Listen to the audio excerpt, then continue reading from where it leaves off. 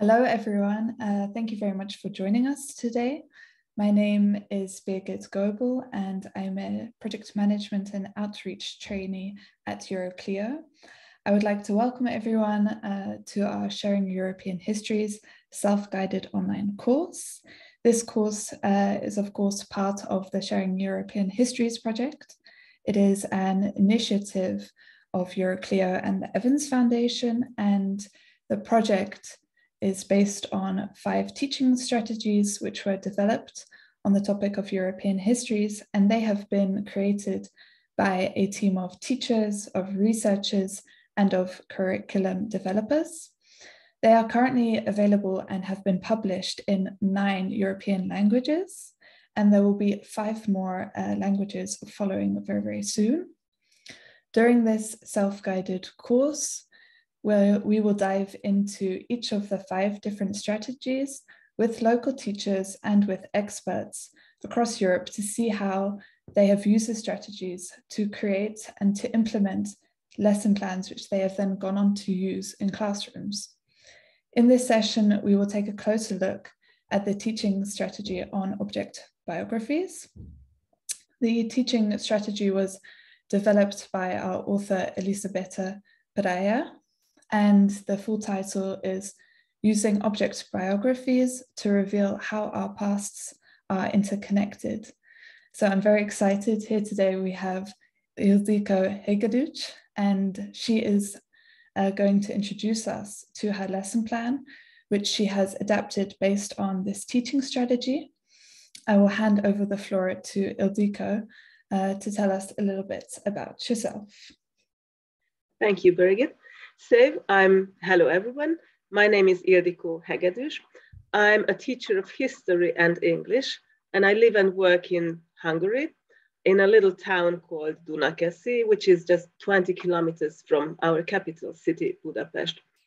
Uh, I teach uh, at a secondary school, and uh, my students are aged between actually 10 and 20. So I teach many kinds of students. Thank you, Ildiko. What I'm going to do now is I'm going to share the PowerPoint with all of you.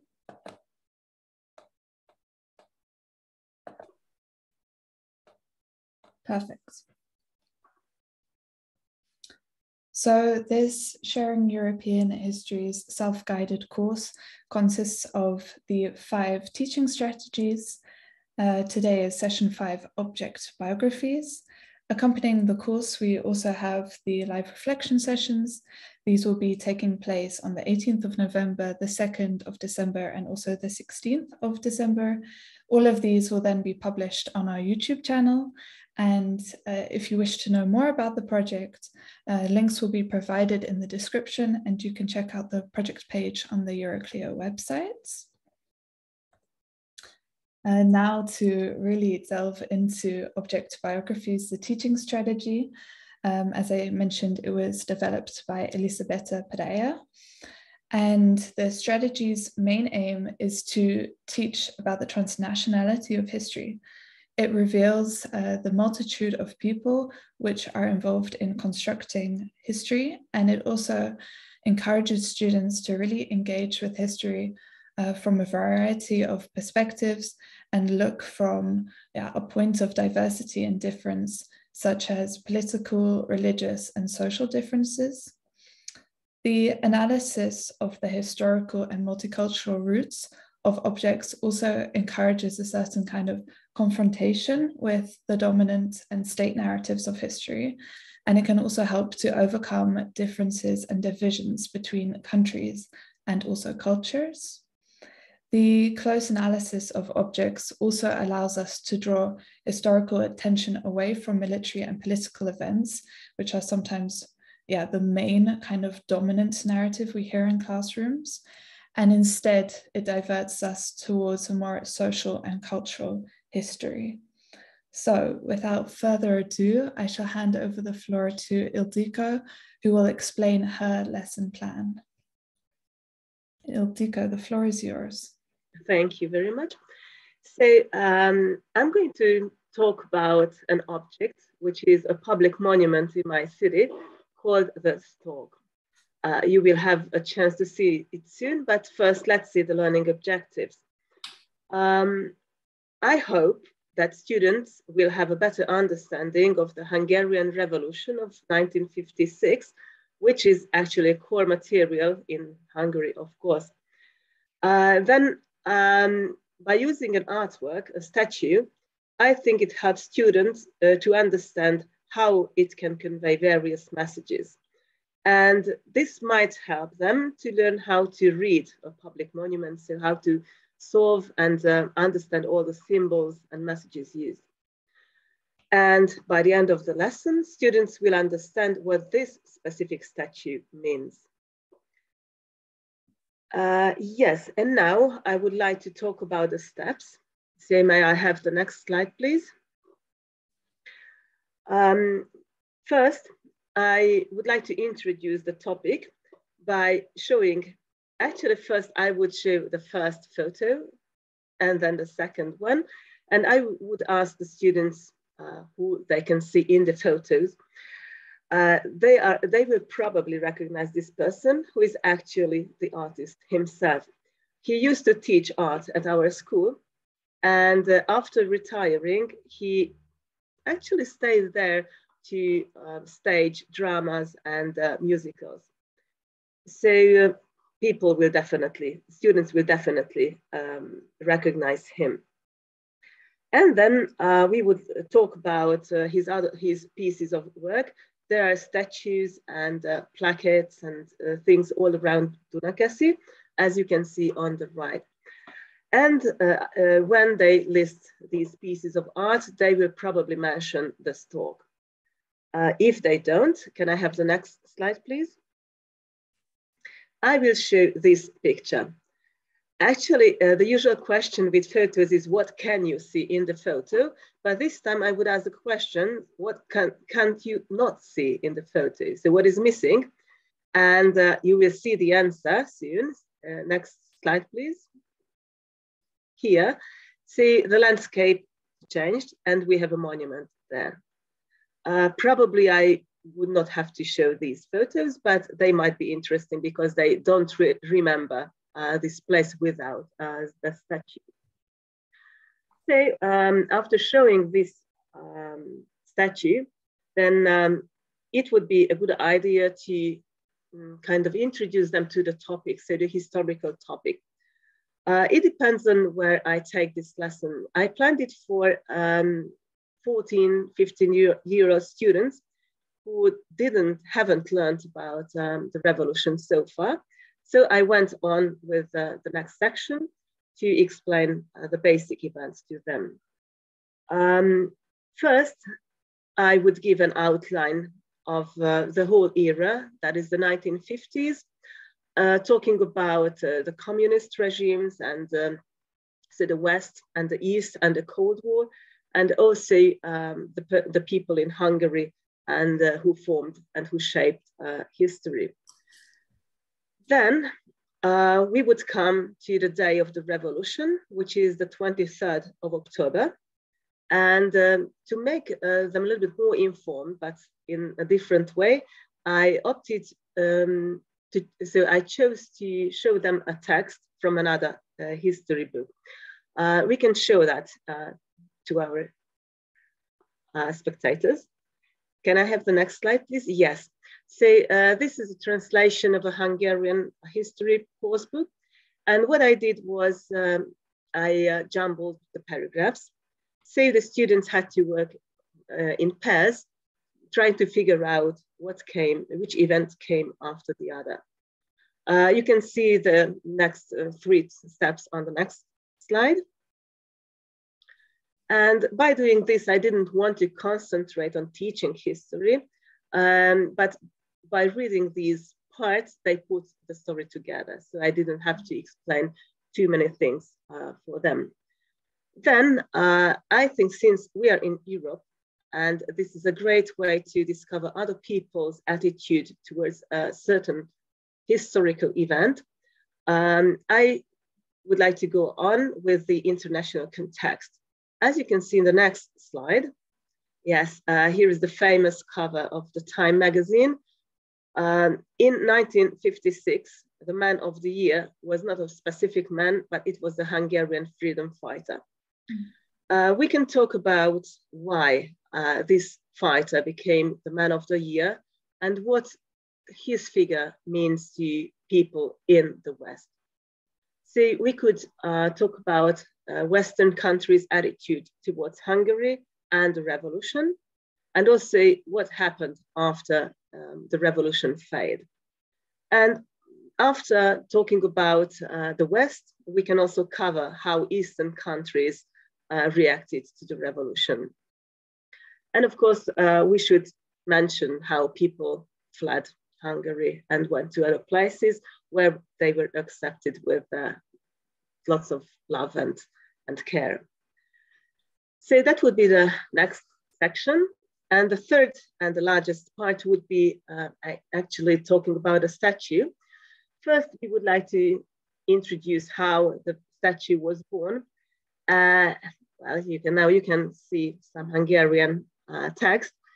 Uh, it means that um, so the first is the flyer inviting people, so the, the citizens, inhabitants of Dunakeszi, to contribute uh, to the statue.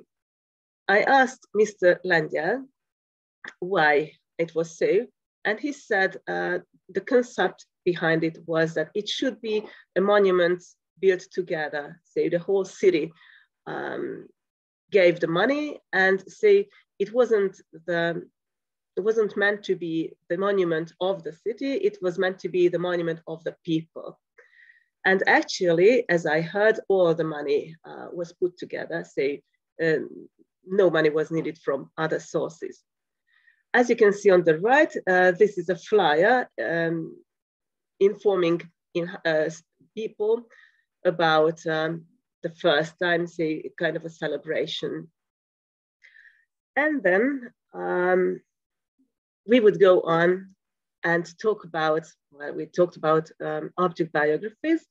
So we would write a short biography of, uh, of the statue, starting with the name. And it's a funny example because uh, as you could see, the name of the statue is the stork, probably because it's a stork, but the original name wasn't stork. It's uh, in Hungarian, it's Pannon Phoenix, but I guess you can translate it into English, Pannonian Phoenix. And gives, it gives us the possibility to compare the two birds, say a phoenix and a stork. And uh, it, it, could be it could involve some some brainstorming activities using the internet or not it doesn't really matter. You can use only a pen and um, piece of paper as well.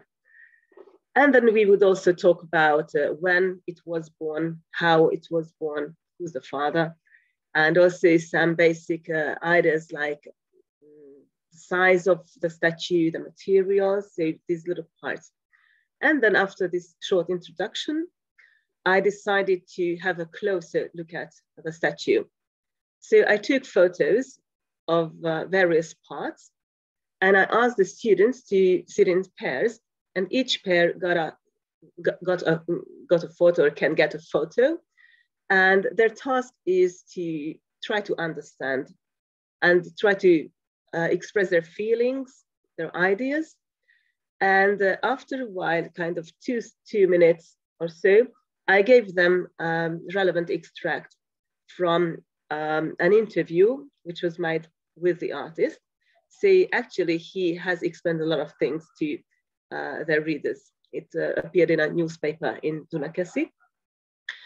And I want to give it to them because some students might not have any deep thoughts and I don't want to make them feel uncomfortable.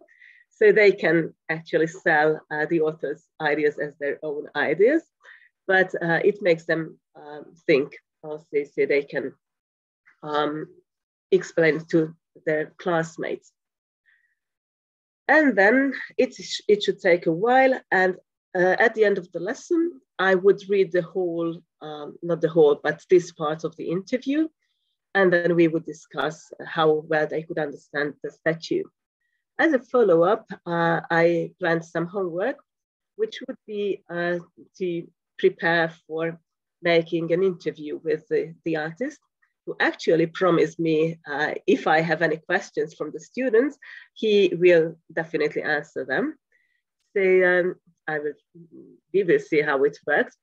And uh, the homework would be to write two or three questions that they would pose to the artist. And that would, would be the end of my 45 minute long lesson. Great. Thank you so much for presenting. It was wonderful to hear about yeah, how you take an object, in this case, uh, a monument, a statue, and um, can also learn about the various different meanings behind it. Very interesting as well that um, that the artist has also agreed to answer questions uh, from the students. that's a very special connection. Um, I have a, a, question to you about the sources which you selected in your lesson plan. Uh, there are various different sources, the flyers, for example, here on this slide, the cover of the Time magazine, uh, the photos which you took, and also, of course, the interview that you had. Uh, could you perhaps reflect on why you chose those particular sources and uh, what they contribute to the lesson plan? Uh, yes, I basically I based my lesson on the statue. Actually, we could have walked there, mm-hmm. but uh, I don't think we, we would have arrived back in time to school. So uh, it would be nice to, but it's very difficult to climb because it's a five meter tall statue. So it's much easier to take photos. And um, uh, I was lucky to have some original photos from Mr. Lengyel. And um, it was really interesting because in, well, when was it? In uh, 2015, maybe, I uh, took a group there. We made a tour around Dunakeszi and we created an English video for uh, some pen friends. And I took several photos of uh, the stork, which was renovated the next year. So I have, and now I went back and took some more photos. So I have three stages uh, recorded in photographs and uh, I, it would be another idea to compare them. So what was what has been changed and what was lost maybe is there anything added? Say, but actually I think it, it, it could be another lesson, but maybe not for history, but for, for an art lesson. So that's why I chose to show them. Uh, I was really happy to see this flyer, this original flyer.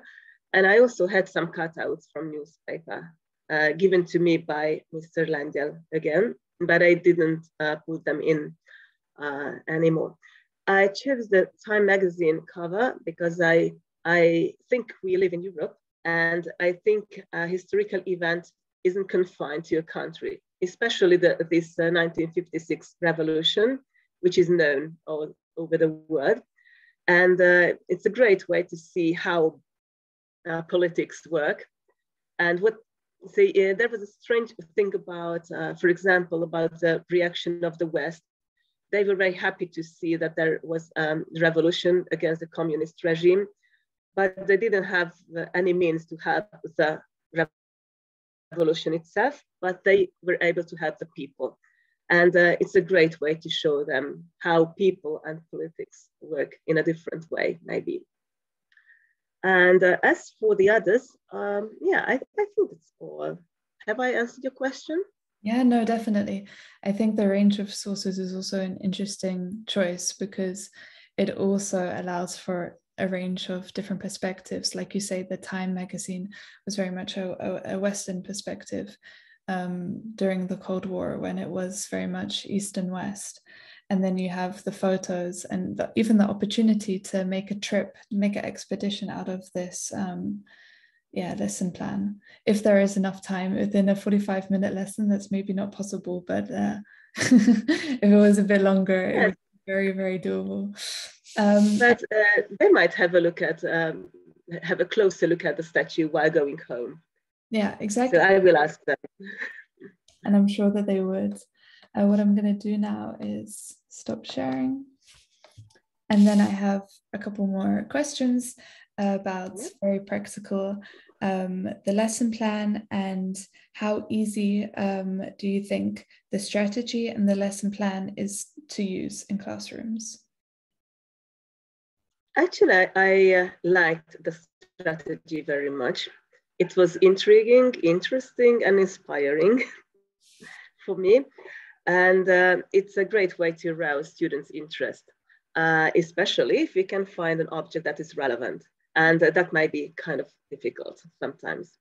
But it's, it's really easy to adapt. So if you find a good object, then it's a great way because uh, children don't think they are learning, but they are. Yeah. And I like these situations. And kind of related to that, because you do take a strategy and then you have to apply it to a particular example, like you say, a particular uh, statue or a particular object. Um, what challenges actually did you encounter when you were trying to find a local example to uh, apply the strategy to? Yes, I remember our first conversations when we talked about objects, and I came up with some ideas, objects that are important for all Hungarians. And then uh, you asked me to be a little bit more local. And then I was kind of frightened because we have a small city. And uh, first I said, there's nothing here. And that might be the first reaction of many people. There's nothing around here, but uh, there is, as, as we can see, even a, a, simple monument can tell us a lot of things. So that uh, could be a challenge, but um, but after a while, I think it's it's uh, it's not that difficult to find. Maybe it's difficult to find uh, secondary sources, uh, information about the life and life of that object. In this respect, I was really lucky because of uh, all the documents and uh, because having Mr. Lengyel as a friend, so he could help me a lot. Yeah. yeah, I think uh, what you say is very true. It may seem quite daunting uh, to teachers if they want to find an example which is very local to them. Um, but it is encouraging that you can always find an example if you dig a little bit deep into uh, the history of uh, the local context that you're in. Um, how long would you say, in terms of time, did it take you to develop this lesson plan? Uh, that's very difficult to say because I usually work in a strange way, maybe. So I have an idea, and I don't like to sit down and um, and uh, work it out. So I spent some time thinking about it while walking to school or while doing other things. So it's very difficult to say. Um, well, finding this object took kind of half an hour. Uh, it was more, a little bit more than that because um, since I wasn't born here, so I moved to Dunakeszi from, a, from another place, I didn't have a deep uh, knowledge of this, the history of this city, but I found um, monography about Dunakeszi, so I had a look at that. But then it turned out that actually my very first idea was the best one. Eh, maybe it's, it's not um, very important to spend a lot of time finding something. So I think you just you should just go around and see the monuments, for example, or if you have a museum, a local museum, then you can find objects there, and and it helps. So um, when I had the idea, and uh, I had the basic structure, it wasn't that difficult. So I think I spent um, about one hour, uh, and I think that was the most. I spent more because I translated all the things into English, yeah. but um, for the Hungarian version, I think it, it was kind of a normal lesson plan. Okay, perfect. Yeah, obviously, like it doesn't always have to be translated, and definitely if it stays within a local context, uh, then it wouldn't need to be. Um, in terms of the uh, lesson plan and um, and the strategy, how much or do you think the sample lesson plan that was provided in the teaching strategy uh, supports your understanding of the lesson plan? Uh, yeah, I think uh, the sample lesson is very helpful. It's not a specific lesson, so it just uh, um, asks questions and uh, um, provides some ideas how to solve different issues. And I think that's that's really great because uh, you can think about your own lesson plan then. So it doesn't does not confine you, doesn't res restrict your thoughts. The yeah. first I I thought it wasn't very helpful, but then I realized it was. So I, I liked it a lot yeah it's it seems to be almost a template which you can very easily adapt and uh, take and use for your example. So your creativity isn't limited um, because it's very, very flexible. Yeah. Mm-hmm. Yes, yes. As I understand, uh, you were also able to execute your lesson plan already in class with some of your students. Uh, I would love to hear some more about uh, the student feedback, how they thought it went. Uh, to what extent do you think that your students were uh, engaged or interested in uh, the lesson? Yes, I executed the lesson this week. It was on Tuesday but I promised them, I talked about it last week because I asked if they wanted to take part. And uh, on Thursday, when we had the last lesson, one student asked, so when are we going to do this thing? Because they didn't know anything, I just think. And I said, all right, Monday, no, Tuesday, something like that. And then uh, I executed on Tuesday. They were really thrilled about it. Uh, they were kind of surprised because they didn't know what we, are, what we would be doing and uh, they enjoyed the strategy very much. Mm-hmm. I asked for some feedback. Uh, I met them today too, and they said that the strategy uh, was really good. And uh, we arrived at a point from another place, and they really liked it. So it wasn't the usual history lesson. Mm-hmm. Uh, what they didn't like was uh, that we talked about 1956 in the middle of um, exploring the Middle Ages. So it was kind of difficult to mm, jump yeah. in a place which they didn't didn't know anything about. But most of them didn't mind it. So uh, actually it's a very small group of only 10 students uh, it's kind of um, history lesson for those who want to deal with history so it's mm-hmm. kind of an extra lesson advanced level history lesson mm-hmm and uh, they are aged 15 and uh, they worked really hard. They, they said they enjoyed it. No, that's, that's... and asked me to do more, uh, but a little bit more relevant objects. yeah. no, that's very good to hear. I think maybe then one of the challenges which you encountered was that um, you're jumping from one time period to another and maybe students uh, don't have prior knowledge of the context or background um, of the of the monument statue object. In your case, did you have to provide uh, some context about maybe the 1950s or the 1956 revolution?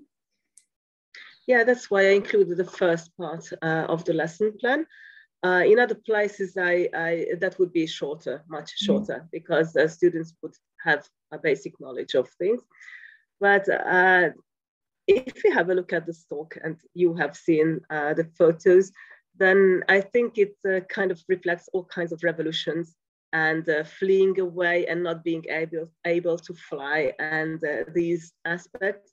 Say mm, the wonderful thing about this monument is it, it, it is not stuck to this period only. Mm. So I think uh, they could understand it very well and uh, maybe it would have worked without uh, talking about uh, the 1950s too.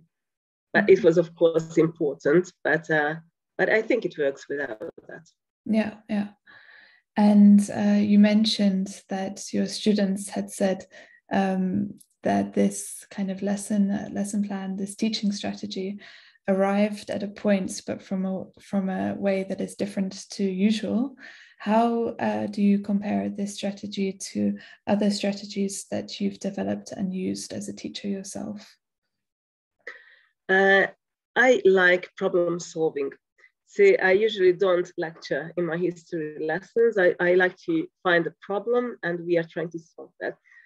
Um, there's a, yeah, there's a very good um, competition in Hungary for secondary school students when they have a historical event when they have to make a decision. For example, imagine that you are Napoleon and here is the choice. What, what are you going to do?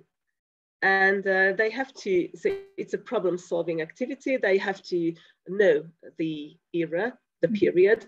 They have to have the necessary background and they have to make um, relevant decision and they have to support it. And I often take uh, elements of this strategy into my lessons and I think this object biography is something similar. So uh, I find an object.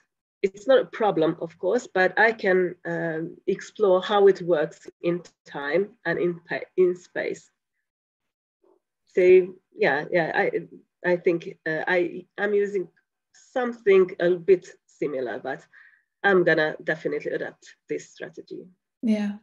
Yeah, I think it's very much about problem solving, like you say, um, and really involving the students in a very interactive way, uh, which can be different from usual teaching strategies. Uh, but like you say, this is definitely up your street. Uh, what opportunities for change uh, do you think that this teaching strategy has? And if you could redo it, maybe what things would you improve on or adapt? Uh, of course, nothing is perfect, but uh, this strategy is close to that, definitely. So I wouldn't like to change it. Uh, what I was thinking about, mm-hmm. um, it would be interesting to combine more strategies. So here we have this object strategy, yes, and uh, we have some other like uh, figure, historical figures. So it might be an interesting thing to combine the two, two strategies or just uh, linking, finding a link between objects and ideas, another strategy again, to kind of put them together. And with these five strategies, you can have a um, holistic or uh, whole picture of a period or of, of an event. Mm. Or maybe say that is one thing, or maybe uh, I would say I wouldn't concentrate on one specific object like a famous monument or a crown or whatever, uh, I would use kind of, let's say, weapon. And uh, I would explore how these objects, um, so I would have a look at the function and see how this function changed in time and how it changed the object. For example, how weapons changed from this period to that period. So we can explore changes in time, but also in space for example, comparing houses in Hungary in the Middle Ages and let's say, I don't know, Siberia or France and so on and so forth. Yeah. Yeah, plenty of opportunities, and it seems to almost combine it and combine it with some of the other teaching strategies uh, you mentioned the history of ideas and historical figures. I'm very aware that we're coming uh, towards the end of our time, um, but I have one last question for teachers who uh, really want to uh, take this strategy now that they've been inspired and use it in their lessons. Do you have any final tips or advice that you would want to share? Uh, to put it shortly, use it. and yeah, it's it's really worth and feel free to adapt it to suit your needs and your students and i'm quite sure all your students will love it well, great. Thank you so much, Ildiko, for taking the time to present your lesson plan, uh, but also to answer all of these questions. I'm sure that it's very invaluable for uh, students and teachers, teachers who want to use the lesson plan all of the resources that we've talked about today will be made available in the links below um, and also on our project page. Ildiko, thank you very, very much. Thank you very much, uh, Birgit, for this opportunity. I enjoyed it, really. Thank you. And um, stay tuned for the further live reflection sessions and also recorded sessions as part of the Sharing European Histories online self-guided course. Goodbye. Goodbye.